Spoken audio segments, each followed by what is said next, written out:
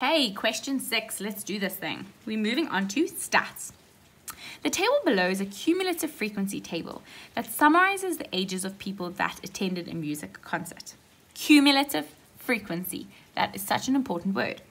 How many people who attended the music concert were older than 15 but younger than or equal to 30 years old? So it's basically saying how many people were there in this category? Now it's very, very tempting to just say 28 but that would be wrong because it is a cumulative frequency, right? If you wanted to just do the frequency, the frequency of each of these um, different intervals, this would be 12, this would be 16, and this would be 22 because we want to strip out the amount of people that are actually in the previous categories, right? So this 28 incorporates a 12.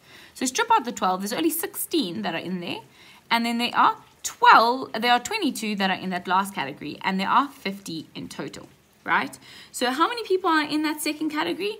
16, right? 16 people, right? That's why you might be thinking, oh, this question's easy, but so many students get these kind of questions wrong because they don't understand the words that are being used, okay? Don't always think with statistics that it's easy peasy. It can be very tricky sometimes, okay?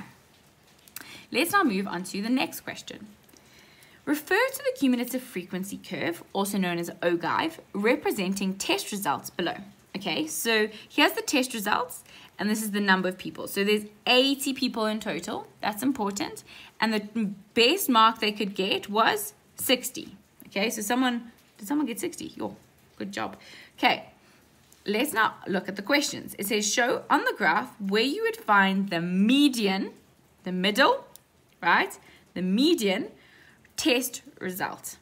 Okay, so the median test result, right, would be the middle test result would kind of be where it's 50%, right? So 50% is going to be where this 40 is, right? Because 40 is halfway through 90 and we want the middle, right? So that's why we're looking at 40. So it's kind of, it's over here, right? So it's showing the graph where you find the median results. And the median results, I think, is probably like 32, right? Um, but I just drew a little arrow because it should show in the graph, right? So it's kind of looking like it's over there. Okay. Then it says determine the interquartile range. Now, interquartile range equals Q3 minus Q1. Q3 is 75% the way through the distribution, and Q1 is 25%. Now, right, what is 75% times 80? Oh, what am I doing wrong? Oh, sorry. Times 80. So this is going to be Q3. What is 25% of 80? It's going to be 20. So the interquartile range, what is Q3 over here? It's probably around about 38, right?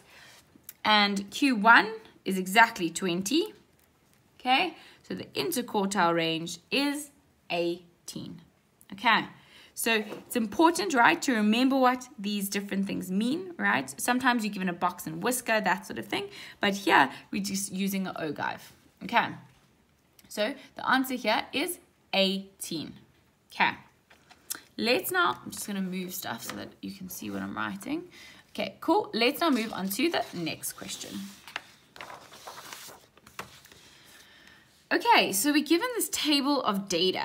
It says for the data in the table below, uh, uh, line, what? For the data in the table below, the line of best fit is y equals a plus bx. Okay, calculate the values of a and b. Okay, let's do this on our calculator.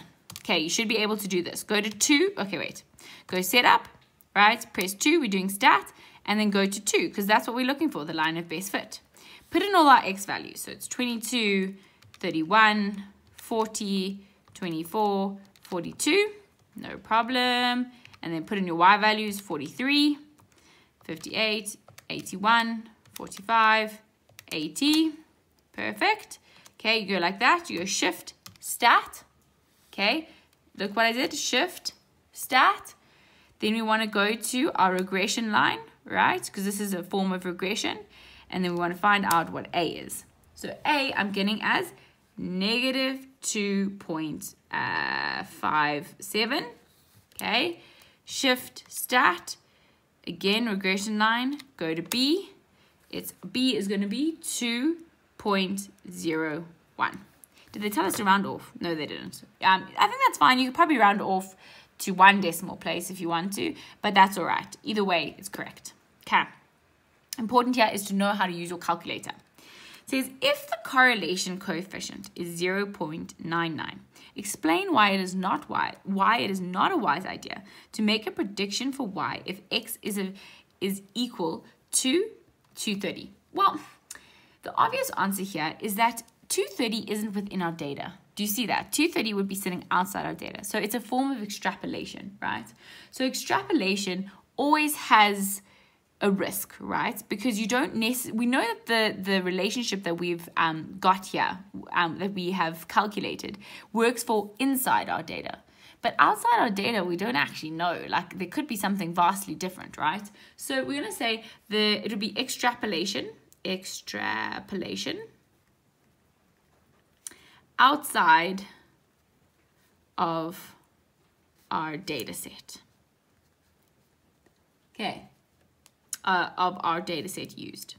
Okay, and that is always going to be a little bit not unwise, but they're always going to be it's going to be a bit variable or a little bit untrustworthy. Okay, let's